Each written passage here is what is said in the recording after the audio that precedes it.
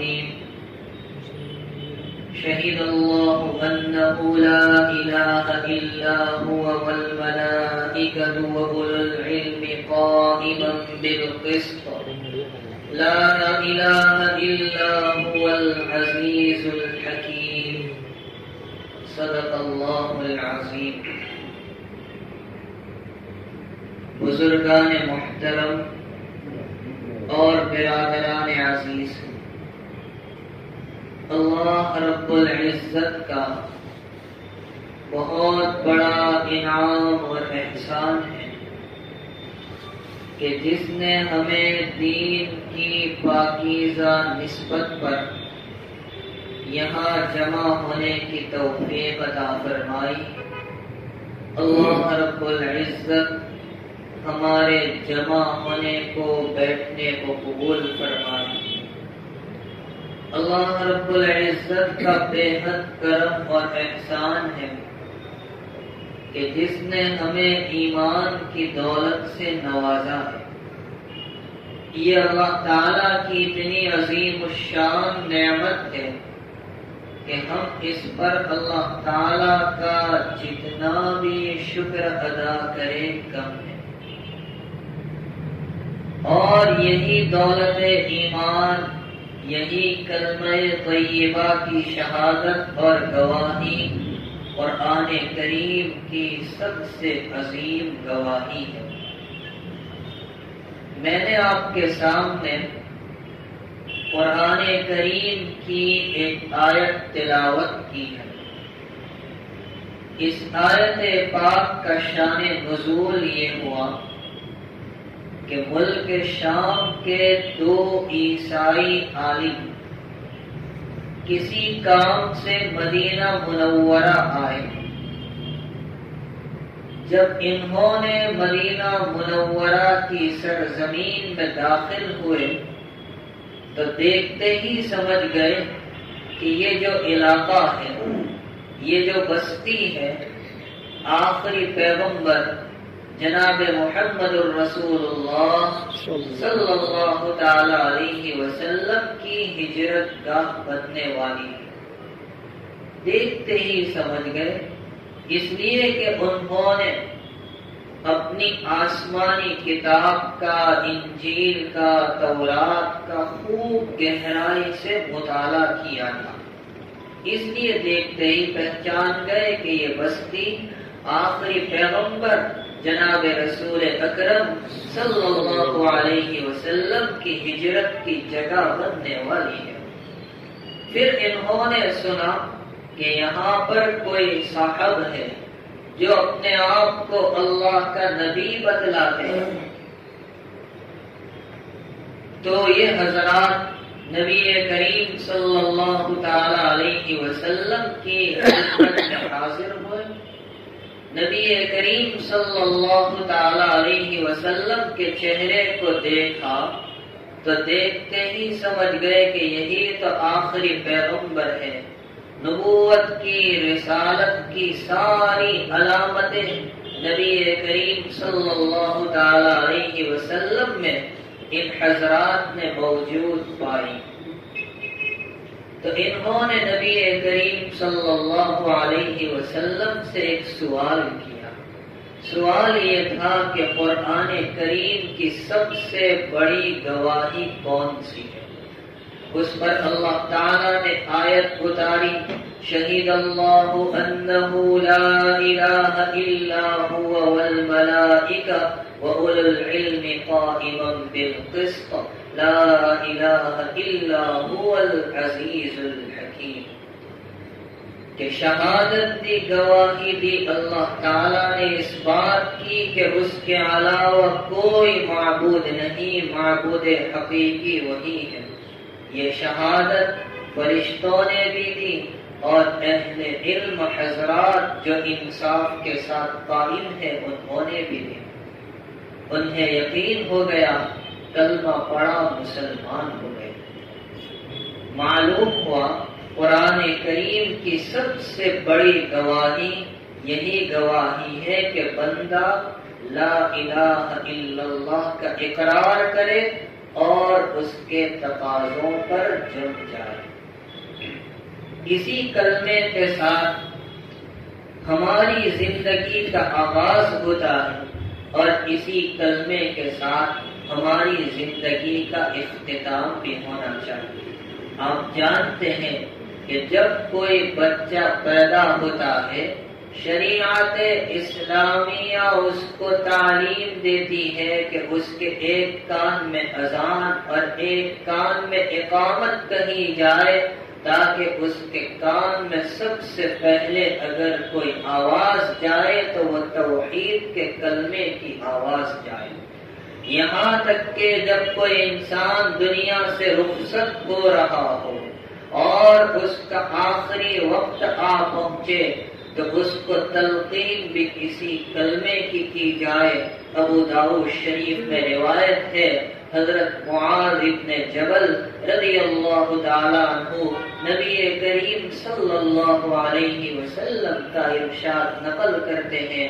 मन कान आखिरु कलामिही ला इलाहा इल्लल्लाह दखलल जन्नह जिस आदमी का आखिरी कलाम ला इलाहा इल्लल्लाह होगा वो जन्नत में दाखिल होगा मेरे वालिद साहब नवर अल्लाह से एक वाकया हमने बारहा सुना कि बहुत बड़े मुहद्दिस जिनका नाम है हाफिज अबू जुरा उनका इंतकाल हो रहा है, उनका आखिरी वक्त है। उनके पास, उनके शागिर्द बैठे हुए, उन्होंने सोचा कि हमारे उस्ताद मोहतरम का आखिरी वक्त है तो उनको कलमे की तलकीन करनी चाहिए। मगर उस्ताद मोहतरम तो एक मुहदस है। बगैर सनत के तो वो बात कबूल करेंगे नहीं। तो उनको कलम तयबा की तलकीन सनत के साथ करनी है। कैसे करें? एक साहब ने कलम तयबा की तलकीन की, अपनी सनत के साथ बयान करना शुरू किया, मगर गड़बड़ की। हाफिज अबू जुरा ने रोक दिया। दूसरे ने अपनी सनत से बयान करना शुरू किया। उसने भी खता की। हाफिज साहब ने उनको भी रोक दिया। अल गर्ज, जितने हजरात वहाँ बैठे थे, सब सनत बयान करने में गोता खा गई।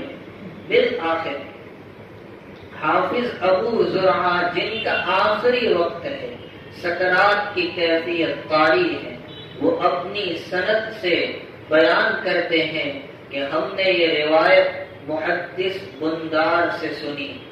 उन्होंने ये रिवायत अबू आसिम से सुनी। उन्होंने ये रिवायत अब्दुल हमीद इब्ने जाफ़र से सुनी। उन्होंने ये रिवायत सालेह बिन अबू आरीब से सुनी। उन्होंने ये रिवायत कसीर इब्ने मुर्रा हजरमी से सुनी। उन्होंने ये रिवायत मुआज इब्ने जबल रज़ी अल्लाह से सुनी। और उन्होंने नबी करीम सल्लल्लाहु अलैहि वसल्लम से सुना, मन कान आखिरु कलामिही ला इलाहा इल्लल्लाह। इतना कहा, इल्लल्लाह के उनकी रूह परवाज हो गई। आगे का जो जुमला है दखल जन्नत कि वो आदमी जन्नत में दाखिल होगा, ये कहने और बोलने का तो उनको मौका ही नहीं मिला। उससे पहले रूह परवाज हो गई। अब मेरे वालिद साहब रहमत फरमाते थे कि हमारे उस्ताद मोहतरम हज़रत मुफ्ती महमूद हसन साहब गंगोई रहमत से ये वाकया सुना उनके बयान की किताब में भी ये वाकया लिखा है।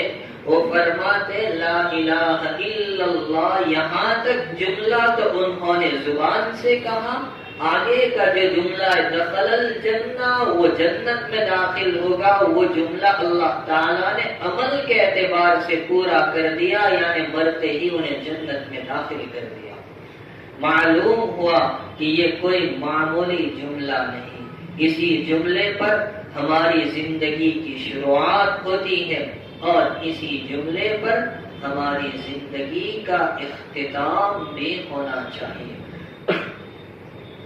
यही वो जुमला है यही वो पाक कलमा है जिसका इकरार हमने आलम अरवाह में अपने रब के सामने किया था और इसी को कुरान करीम ने बयान किया है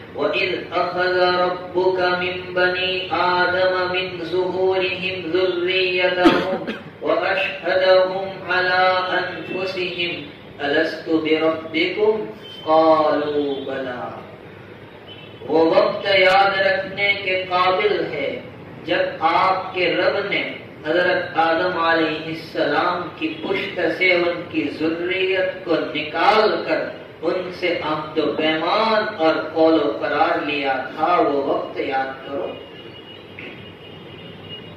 इमाम तिरमिजी रहमत ने तिरमिजी शरीफ में रिवायत नकल की। हज़रत मुस्लिम इबन यसार अल जोहनी कहते हैं कि हज़रत उमर फारूक रदी अल्लाह से इस आयत पाक का मतलब पूछा गया। उन्होंने कहा कि मैंने नबी करीम सल्लल्लाहु अलैहि वसल्लम से सुना कि जब अल्लाह रब्बुल इज़्ज़त ने हज़रत आदम सलाम को पैदा किया तो उनकी पुष्ट पर, उनकी कमर पर अपने दाहने हाथ को फेरा। अब यहाँ सवाल होगा कि अल्लाह ताला का तो हाथ नहीं तो फिर दाहिने हाथ को फेरने का मतलब क्या है? दाहिने हाथ को फेरने का मतलब है कि अल्लाह रब्बुल इज़्ज़त ने सिफत जमाल का तसरुफ किया। और इसके नतीजे में हज़रत आदम सलाम की वो तमाम औलाद जो जन्नती है, कयामत तक आने वाली वो चूटियों की तरह निकल पड़ी। फिर अल्लाह रब्बुल इज़्ज़त ने हज़रत आदम सलाम की पुष्ट पर, कमर पर अपने बाएँ हाथ को फेरा। इसको आप कहेंगे कि अल्लाह ताला ने सिफत जलाल का तसरुफ किया। और इसके नतीजे में वो तमाम औलाद जो जहन्नमी है, कयामत तक आने वाली, वो भी चूंटियों की तरह निकल पड़ी। जब सारे जमा हो गए तो अल्लाह ताला ने इन सब की रूहों से खिताब करते हुए कहा था, अलस्तु बिरब्बिकुम क्या मैं तुम्हारा रब नहीं हूँ? सबने करार किया। कालू बला, क्यों नहीं? आप ही हमारे रब है। आप ही हमारे खालिक है। आप ही हमारे मालिक है। आप ही ने हमें आदम से वजूद बख्शा। सबने करार कर लिया। अल्लाह ताला ने फरमाया था, देखो, अब मेरे बाद, अब यहाँ से जाने के बाद मेरे अलावा किसी को शरीक मत करना। लेकिन नतीजा क्या निकला? जब यही इंसान दुनिया में आया तो एक नहीं, सैकड़ों की तादाद में उसने माबूद बना लिया। अनगिनत खुदाओं को मान लिया, जिनका तस्वूर नहीं किया जा सकता। तो फिर अल्लाह इज़्ज़त की जानिब से एक निज़ाम चला कि उसने हज़रत इंसान की हिदायत के लिए, रहबरी के लिए उन्हें सीधा रास्ता बताने के लिए अम्बिया सलाम को भेजा। जिन्होंने आकर शिरक से बुत परस्ती से रोका, तोहीद की तालीम दी। एक अल्लाह शरीक लहू को मानने का उस पर ईमान लाने का दर्श दिया, वरना इंसान तो शिरक की वादियों में भटक रहा। मुख्तलिफ़ अंदाज में, मुख्तलिफ़ उसने मबूद बना रखे थे। सफ़र का हो तो अलग महबूद घर में हो तो अलग महबूद वाकया लिखा है कि एक सहाबी रसूल, एक मरतबा सफ़र कर रहे थे। तो उन्होंने सफ़र में एक छोटा सा महबूद अपने साथ ले लिया। ताकि अगर कभी कुछ पुकारने और मांगने की ज़रूरत आ जाए तो बड़ा महबूद तक घर में रखा है, उसको कहाँ ले जाए?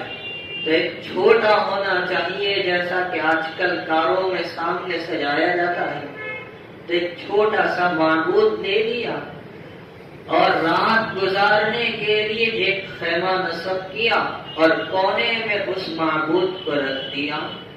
जब सुबह बेदार हुए तो देखा महबूद तर बतर है। उस पर तरी नज़र आ रही है। ताज्जुब हुआ कि इसको गुसल किसने करवा दिया? रास्ता तो खुश्क है, खेमे का कपड़ा भी खुश्क है तो फिर ये महबूद तर बतर कैसे हुआ? भीगा कैसे? ये सवाल है। दूसरी रात फिर ऐसा ही हुआ। अब तीसरी रात इन्होंने इरादा किया अहद कि आज की रात सोना नहीं है जाकर देखना है कि मेरे महबूद को कौन गुसल करवाता है। जब रात का एक हिस्सा गुजरा, जंगल से एक लोमड़ी आई पूरे खेमे का चक्कर लगाया। कोने में ये महबूद रखा हुआ था तो जाकर उस पर पेशाब कर दिया। इनकी दिल की आँखें खुल गई। ज़ाहिर की तो आँखें खुली थी, दिल की आँखें खुल गई। तो फ़ौरन अपने सफ़र के इरादे को मुलतवी करके जनाब रसूल अकरम सल्लल्लाहु अलैहि वसल्लम की खिदमत में जाते हैं। ये शेर कहते हुए अरबुन यबूल बिरक्सिही लक़द बालत अलैहि क्या वो रब हो सकता है? जिसकी खोपड़ी पर लोमड़ी पेशाब कर जाए तहकीक जलील हुआ जलील हुआ वो जिसकी खोपड़ी पर लोमड़ी ने पेशाब किया, वो तो जलील हो गया। नबी करीम सल्लल्लाहु अलैहि वसल्लम की खिदमत में आए, कलमा पढ़ा और इस्लाम में दाखिल हुए। कहने का मंशा ये है कि अम्बिया कराम वसलाम के तशरीफ़ लाने से पहले लोग शिरक में मुबतला हो गए और तरह तरह से शिरक किया। अल्लाह ताला की जात में शिरक, उसकी सिफात में, उसके इबादत में, उसके हुक्म में। अल्लाह की जात में शिरक का क्या मतलब? अल्लाह की जात में शिरक की बहुत सारी सूरतें हैं। कि अल्लाह ताला के साथ किसी और को मबूद करार देना।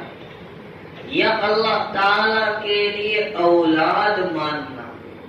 जैसा कि मुशरकी ने मक्का फरिश्तों को अल्लाह ताला की बेटियाँ मानते हैं, और यहूद हज़रत गुजैर सलाम को अल्लाह का बेटा करार देते हैं। वकालत यहूद और जो ईसाई है वो हज़रत मसीह सलाम को, हज़रत ईसा सलाम को अल्लाह का बेटा करार देते हैं। मुफसरीन ने लिखा ईसाइयों में चार जमाते और उनके अकीदत तीन तरह के उनकी एक जमात का नाम है याकूबिया, और एक जमात का नाम है मलकानिया। इन दोनों जमात का अकीदा यह है कि हज़रत ईसा ही अल्लाह है। उनकी एक जमात का नाम है नस्तूरिया। इस जमात का कहना है कि ईसा सलाम अल्लाह नहीं, बल्कि अल्लाह के बेटे हैं। और एक जमात है मरफूसिया इस जमात का कहना है कि ईसा सलाम तीन खुदाओं में से एक खुदा है। कुरान करीम ने हर एक की तरदीब कर दी कि अल्लाह ताला अपनी जात में, अपनी सिफात में यकता है। उसका कोई शरीक नहीं, न उसकी कोई औलाद है, न उसका कोई बेटा है। इसी तरह अल्लाह ताला की सिफात में शरीक ठहराना। खसूसन वो सिफतें जो अल्लाह ही के लिए खास है, बंदों में नहीं पाई जाती। मसलन किसी को ज़िंदा करना, ये वो सिफत है जो अल्लाह ताला ही में पाई जाती है। अगर ये सिफत हम बंदों में जारी करने लगे तो ये अल्लाह ताला की सिफात में शरीक करना होगा। इसी तरह इबादत में शरीक करना। इबादत कहते हैं इंतहाई दर्जे की आजिजी इख्तियार करना। बंदा इंतहाई दर्जे की आजिजी उस वक्त इख्तियार करता है जब अपनी पेशानी अपने रब के सामने रख देता है। अगर ये पेशानी अल्लाह के अलावा किसी और के सामने झुकने लगे, ये इबादत में शिरक है। और चौथी किस्म है हुक्म में शरीक ठहराना, कि खालिक के हुक्म का जो मकाम और दर्जा होता है, वो मकाम और दर्जा मखलूक के हुक्म को देना, ये अल्लाह ताला के साथ हुक्म में शरीक ठहरा है। बहरहाल जब कायनात में शिरक और बुत परस्ती की वबा फैलती चली गई, अल्लाह रब्बुल इज़्ज़त ने अम्बिया के मुबारक नूरानी और पाकिजा सिलसिले को जारी किया। अम्बिया वसलाम अपने अपने वक्त पर तशरीफ़ लाते रहे, लोगों को समझाते रहे तोहीद का दर्श देते रहे। अमर बिल मारूफ और नहीं अनिल मुनकर के फरीजे को अंजाम देते रहे। कायनात में जो कुछ खराबियाँ और बुराइयाँ फैली हुई थी, उनसे अम्बिया किराम वसलाम रोकते रहे और ये मुबारक सिलसिला खत्म हुआ। आखिरी नबी जनाब रसूल अकरम सल्लल्लाहु अलैहि वसल्लम की जाते बाबरकत पर कि आपने तेईस साल के नबूवत और रिसालत के मुबारक अरसे में ऐसे साफ़ सुथरे और पाकिजा मुआशरे की तालीम दी कि वो मुआशरा कयामत तक आने वाले तमाम लोगों के लिए रहबरी का काम देगा। एक साफ़ सुथरे मुआशरे की, जिसको नबूवी मुआशरा कहा जाता है, जिसको मदनी मुआशरा कहा जाता है, जिसको पाकिजा मुआशरा कहा जाता है, उसकी नबी करीम सल्लल्लाहु अलैहि वसल्लम ने तालीम नबी करीम सल्लल्लाहु अलैहि वसल्लम की सोहबत की बरकत से जो हजरात तैयार हुए, वो सहाबाम कहलाए और उनके ईमान इतने मज़बूत थे कि कैसी ही हवाएँ चलती, मगर उनके ईमान में कोई फ़र्क नहीं आता। अब सवाल ये है कि आज हम जिस दौर में ज़िंदगी गुजार रहे हैं, जिस दौर में ज़िंदगी बसर कर रहे हमारा ईमान कमज़ोर होता जा रहा है। सवाल यह है कि हमारा ईमान कमज़ोर क्यों हुआ? हमारे ईमान की कमज़ोरी की वजूहत क्या है? पहली वजह कि हमने नमाजों को छोड़ दिया वो नमाज़ जो नबी करीम सल्लल्लाहु अलैहि वसल्लम की आँखों की ठंडक, वो नमाज़ जो दीन का सुतून है, वो नमाज़ जिसकी नबी करीम वसल्लम ने मुतअद्दिद रिवायात में तालीम और ताकीद की है। आज हमने नमाजों से गफलत बरतना शुरू किया, जिसकी वजह से हमारे ईमान में कमज़ोरी आती जा रही है। दूसरी वजह, हमारा ईमान कमज़ोर क्यों हुआ और क्यों हो रहा है? हमने कुरान करीम से और तालीम कुरान से मुँह मोड़ कुरान करीम की तिलावत को भी छोड़ दिया और कुरान करीम की तालीमात से भी चेहरा फेर लिया। एक जमाना वो था कि जब हम फजर की नमाज़ पढ़कर निकलते, हर घर से कलाम शरीफ की तिलावत की आवाज़ आया करती थी। और आज हम ऐसे नाजुक और ऐसे पुरफितन माहौल में ज़िंदगी गुजार रहे हैं कि रात रात भर गाने की आवाज़ आती है और फजर की नमाज़ बिस्तर की नज़र हो जाया करती है। कलामुल्ला शरीफ को हमने उठाकर ताकों में रख दिया और रमजानुल मुबारक के महीने में भी मुश्किल से हमारा एक कुरान खत्म हो पाता है, बल्कि वो भी नहीं होता। अल्लाह के वो कैसे बंदे थे जिन्होंने कुरान करीम को अपना ओढ़ना और बिछोना बनाया। उनके रात दिन का मशगला कुरान करीम की तिलावत करना था। अबू दाऊद शरीफ की शराब अब्दुल मंदूद की दूसरी जिल में, इमाम नववी रहमतुल्लाह के हवाले से तफसीलन ये बात लिखी है कि ऐसे बंदे हुए कि जो रोज़ाना एक कुरान पाक खत्म किया करते ऐसे बंदे हुए जो रोज़ाना दो कुरान करीम खत्म किया करते थे, एक रात में, एक दिन में। आप देख सकते हैं, फजाइल हज में हज़रत शेख नवर अल्लाह ने कुर्स बिन वबरा रहमतुल्लाह के मुतालिक लिखा है कि रोज़ाना तवाफ दिन में और सत्तर तवाफ रात में किया करते थे। और आप सोचो, सत्तर तवाफ दिन के, सत्तर रात के और फिर हर तवाफ के बाद की दो रकाते तो 140 तवाफ की तो 280 रकाते हुई और इसकी जो मसाफत होती है तीस माइल की, इसके अलावा वो एक कुरान दिन में, एक कुरान रात में खत्म किया करते थे। और अब्दुल में यहाँ तक लिखा है कि हमें ज़्यादा से ज़्यादा जिसकी खबर पहुँची रोज़ाना आठ पुराने करीम खत्म करने की दो सौ चालीस पारे। आप सोचो कैसे होगा। लेकिन जब आदमी कुरान पाक से मोहब्बत करता है, उसको अपना मशगला बना लेता है। अल्लाह ताला उसके वक्त में उसका तो बरकत देते एक साहब थे हमारे यहाँ रामदेव में, अल्लाह को प्यारे हो गए। जब वो बूढ़े हुए रिटायर हुए तो उनका एक ही काम था, मस्जिद के पीछे होने पर बैठे रहते थे।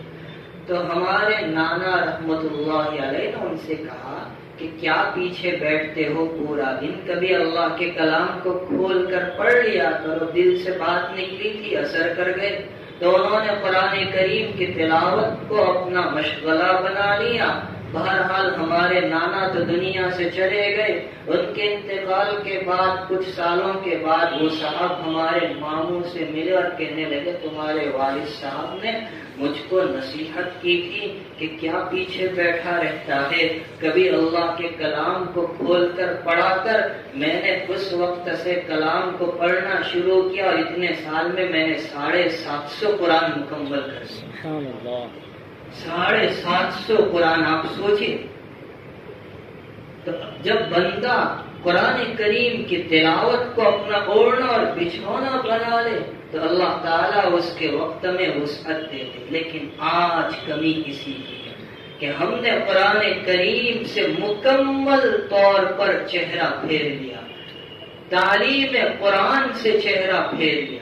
हमारी पूरी तवज्जो गए तो दुनियावी तालीम की जानिब। पूरी तवज्जो गए तो असरी तालीम की जानिब। और हम ख्वाब देखते हैं कि मरने के बाद हमारा बेटा हमारे लिए ईसाले सवाब करे और बेटे का हाल ये है कि बाप के मरने के बाद उसको जनाजे की नमाज़ पढ़ाना भी नहीं आता, बल्कि उसकी दुआ भी नहीं आती। साहब राम थे। कि वो जहाँ कहीं गए, कामयाबी ने उनके कदमों को चूमा है वजह क्या थी?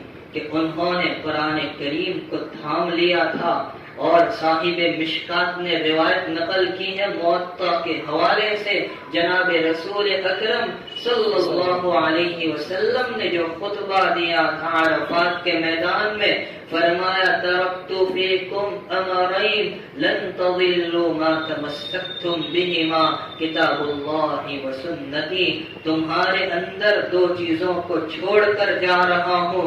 अगर तुमने इनको थाम लिया, तुम कभी गुमराह नहीं हो सकते, तुम कभी भटक नहीं सकते। एक अल्लाह की किताब और एक मेरी सुन्नत। हमारी ईमान की कमज़ोरी की वजह कि हमने कुरान करीम की तालीम से और कुरान करीम की तिलावत से हर चीज़ से मुँह मोड़ लिया है। मुफक्र इस्लाम, हज़रत मौलाना अली मियाँ साहब, नदवी रहमत का एक मलफूज मैंने पढ़ा था, एक साहब एक किताब लाए थे, सरसरी तौर पर देखी तो बड़ी प्यारी बात हज़रत ने लिखी थी। फरमाया कि अगर कोई बच्चा अगवा कर लिया जाए तो पूरे मोहल्ले में शोर हो जाता है। खसूसन अगर वो दूसरी बिरादरी का हो तो दंगे और फसाद का भी अंदेशा होता है। हज़रत फरमाते हैं, आज मुसलमान माओ की गोद से बच्चे बड़ी आसानी से उठाए जा रहे हैं और हमें एहसास भी नहीं। और हज़रत ने एक तालीमी कॉन्फ्रेंस को खिताब करते हुए फरमाया था कि बच्चे का बचपन में मर जाना बेहतर है, इससे कि बड़ा हो और दीनी तालीम और तरबियत से कोरा और खाली हो, खुद भी जहन्नम में जाए माँ बाप को भी जहन्नम में ले जाने का सबब बने, इससे तो उसका बचपन में मर जाना बेहतर तो हमारे ईमान की कमज़ोरी की दूसरी वजह कुरान और तालीम कुरान से दूरी।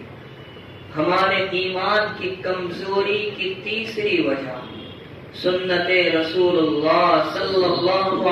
वसल्लम से दूरी कि हमने फख्र आलम रहमतुल्लामीन सल्लल्लाहु अलैहि वसल्लम की सुन्नतों को ये जानते हुए कि कामयाबी नबी करीम सल्लल्लाहु अलैहि वसल्लम की सुन्नत में है, मगर फिर भी उससे मुँह मोड़ लिया जबकि आका सल्लल्लाहु अलैहि वसल्लम क्या फरमाते हैं? आप एक रिवायत से अंदाज़ा लगाए। हज़रत उमर फारूक रज़ी अल्लाह ने इजाज़त चाही थी कि जिस तरह कुरान करीम अल्लाह की किताब है तौरात भी तो अल्लाह की किताब है। अगर आप इजाज़त दे तो हम रात की तहजद की नमाज़ में कुरान पाक के बजाय तौरात की तिलावत कर लिया करे। नबी करीम सल्लल्लाहु अलैहि वसल्लम का चेहरे अनवर सुर्ख हो गया। फरमाया, अमुतहव्विकुन, कमा तहव्वकतिल यहूद वन नसारा क्या तुम अपने दीन के बारे में हैरत में पढ़ना चाहते हो? जैसा कि यहूद और नसारा अपने दीन के बारे में हैरत का शिकार हुए मैं तुम्हारे पास रोशन और साफ़ सुथरी शरियात लेकर आया हूँ। उसके बाद आपने फरमाया, वो जुमले हमें अपने दिलों पर नक्श करने हैं। फरमाया लौकान मूसा हयन लमा वसियाहू इल्ला कि अगर इस वक्त साहिब तौरात पैगंबर हज़रत मूसा भी हयात और